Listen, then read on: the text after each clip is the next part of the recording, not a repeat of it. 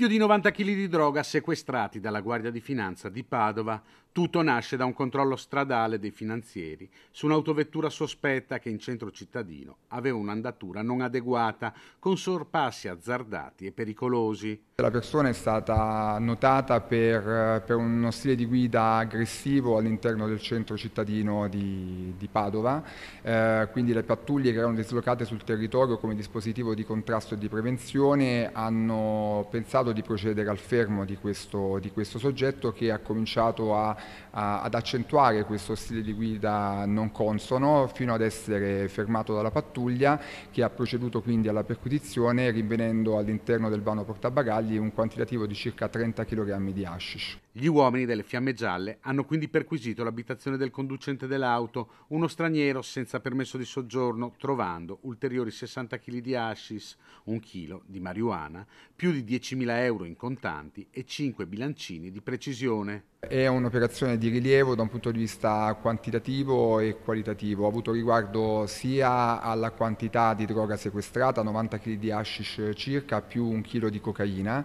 eh, e a soldi in contanti rinvenuti poi nella successiva perquisizione. Quindi si innesta in un dispositivo come, come risultato di un dispositivo di contrasto al, allo spaccio di sostanze stupefacenti eh, per evitare il rifornimento delle piazze di spaccio del, di Padova e provincia. L'uomo è stato denunciato per detenzione ai fini di spaccio di sostanze stupefacenti, arrestato e portato alla casa circondariale di Padova. Le indagini sono in corso per verificare le fonti di approvvigionamento e quelle che poi sarebbero stati i canali di, di spaccio della sostanza. Eh, sicuramente il quantitativo non è trascurabile e merita un approfondimento investigativo che sotto la, la delega della Procura sarà effettuato.